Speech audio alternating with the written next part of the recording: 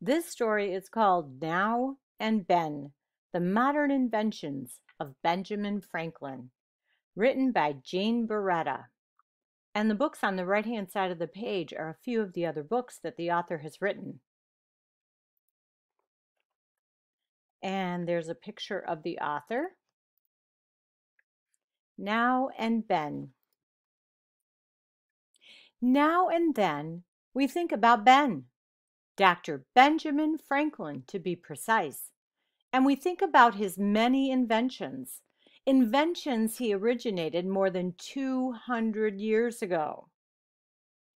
There's his wife Deborah on the left hand page, his son William, Francis, and his daughter Sally. It was as if Ben could see into the future. Almost everything he created is still around today. For instance, now our newspapers are filled with illustrations. Ben was the first to print a political cartoon in America. The cartoon encouraged the American colonies to join together or die like the disconnected snake. Now, bifocals are very common. Bifocals combine two sets of lenses into one pair of glasses. The bottom lens helps see near, and the top lens helps see far. Ben originally designed bifocals for himself after he grew tired of switching between two pairs of glasses. Now our world relies on electricity. In the 18th century, many people still believed that lightning was an act of anger and punishment from God. Ben was one of the scientists who discovered the true nature of electricity and how to use it. He learned that lightning is electricity when he attached a small metal wire to the top of a kite and gathered electricity from a storm cloud. Now, many buildings and homes use lightning rods to protect against lightning strikes. Ben invented the lightning rod and was the first to use it. The pointed iron rod acts like a magnet and grabs an approaching lightning bolt from the sky before it can strike the rooftop. The electricity then travels safely down a long wire into the ground. It prevents fires and keeps dangerous amounts of electricity away from the house. Now, this gadget goes by many names, such as the grabber. Everyone has seen one. It's the long stick that helps grab items from out of reach places. Ben invented the original device and called it the long arm because it worked like a very long arm. Now, swimmers and divers use flippers to move faster through water. Ben invented things even when he was a boy. He was an avid swimmer and built wooden flippers for both his hands and feet.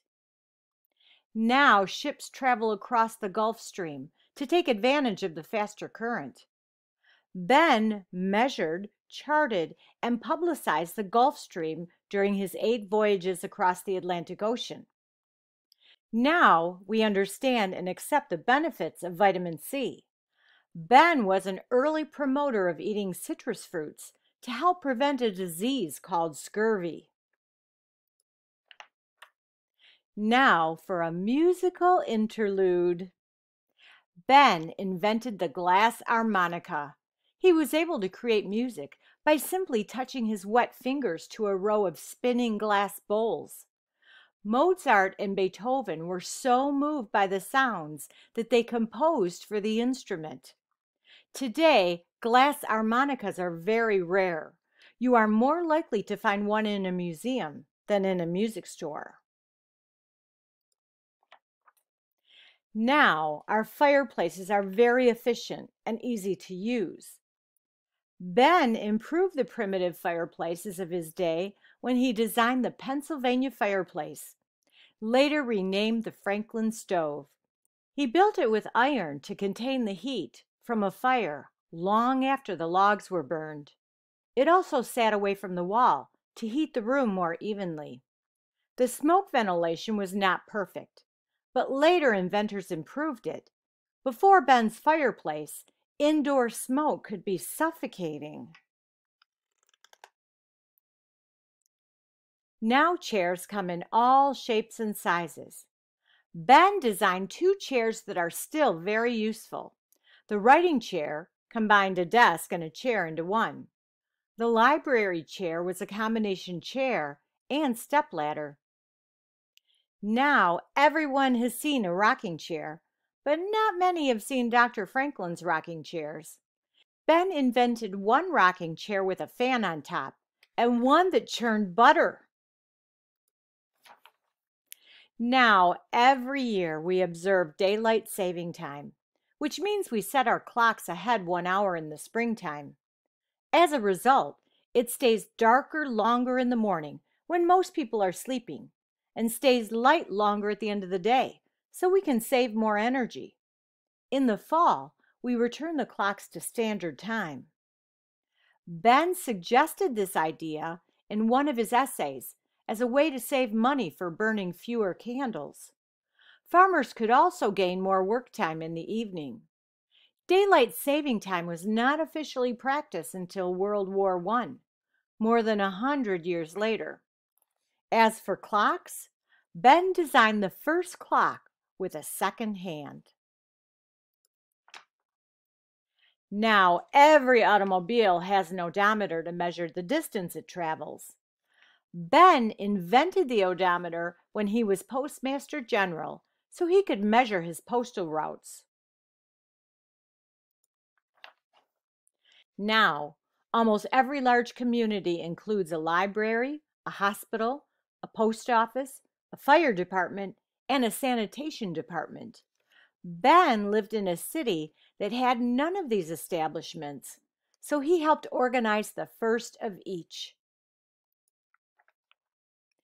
Now and then, we owe thanks to Ben for his important inventions, but many would agree that his greatest accomplishments came in the form of documents, documents that helped shape the world. Ben had a pivotal role in developing America's Constitution, the Treaty of Alliance with France, the Treaty of Peace with England, and the Declaration of Independence. It's remarkable that one man could achieve so much in a lifetime. He has certainly helped to form the modern world.